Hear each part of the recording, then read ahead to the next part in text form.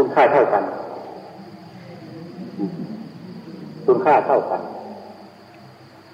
แต่บาลีได้หรือไม่ได้ไม่สำคัญบาลีมันสำคัญที่ว่า ความตั้งใจของเราสำเร็จไปแล้ว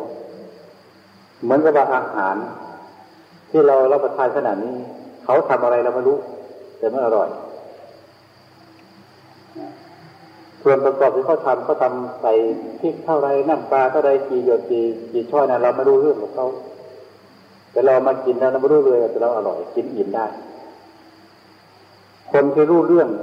ในการทำอาหารก็อิ่มได้ คนไม่รู้เรื่องเลยก็อิ่มได้เช่นเดียวกัน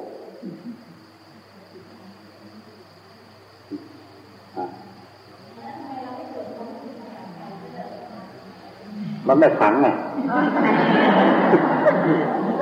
มันไม่ขังมันไม่ขัง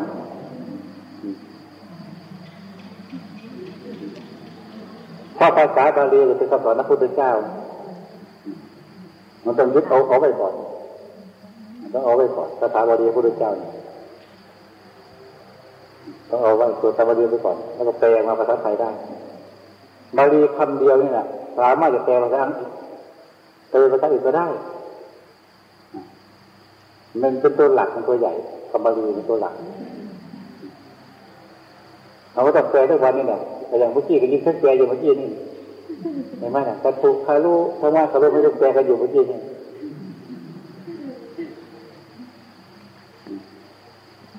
ถ้าเราไม่ไม่คงตัวเรียวไว้ก็เนี่ย ลูกหลานสุดท้ายภายหลังมันจะหมดโอกาสทันที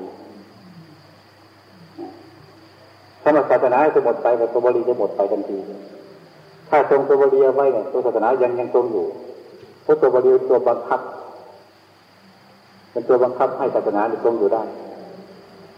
ถ้าต่างคนเอาตัวเองภาษาตัวเองไม่ต้องเก่งว่ากันไปเลยเนี่ยบริหมดไปทันทีกล่าวไม่ได้ต่อไปยุคต่อไปวิกฤตชั่วคนหมดเลยหมดทันทีศาสนาหมดทันทีบริตั้งไม่ได้นั่นหลักใหญ่ก็ต้องโอ้บริตั้งไว้ก่อน